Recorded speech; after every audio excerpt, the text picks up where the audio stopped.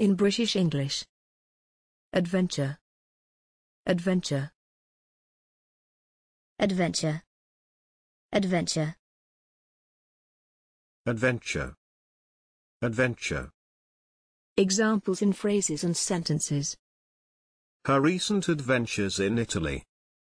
They set off in search of adventure. They had adventured into the forest.